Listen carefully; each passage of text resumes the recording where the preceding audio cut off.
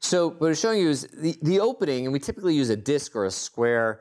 Uh, that can um, it can it can also smooth contours, but it'll typically break thin connections, uh, eliminate small islands, so small little spurious things.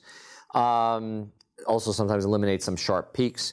The closing can uh, smooth contours where the at the uh, concavities. Uh, it'll fuse narrow breaks, so things that were supposed to be connected um, uh, but had a little hole in them. It'll it'll do that, and it can you know sort of fill in these gulfs. So um, often you'll do one followed by the other. All right. So here's an example. This is the original image, okay, and it's it's a fake image, obviously, just to make the point. So here's our original image, and you'll notice it has you know this, this cut out here, the, these rough edges here, this kind of noise here, these spurious things there. And the opening, all right, does exactly what you think. It'll eat away this stuff, this stuff, that stuff, and that stuff, all right, and also these little ridges up here.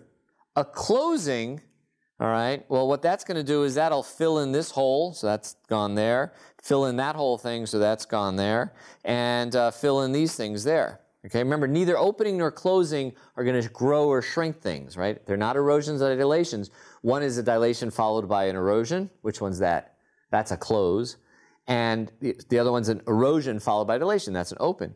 Well, when you do an opening followed by a closing, okay, so you take this and then you close that, you get rid of this, you get rid of this, you get rid of that, you get the two underlying elements.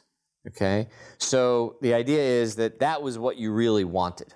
All right? And these kinds of operations are what we use uh, often. So to show you a real life example of that, um, here's a fingerprint example. Uh, here's the original image. You hear the ridges that you want to find. There's a whole bunch of spots you don't want to find. There are some gaps that are not real right there. And so what they do is they apply an opening followed by a closing and you get this really nice fingerprint image. Okay, so that's an example of, of doing it uh, for real. Something I'm not going to talk about now, there's something called a hit or miss transform. It's basically how to find a particular shape.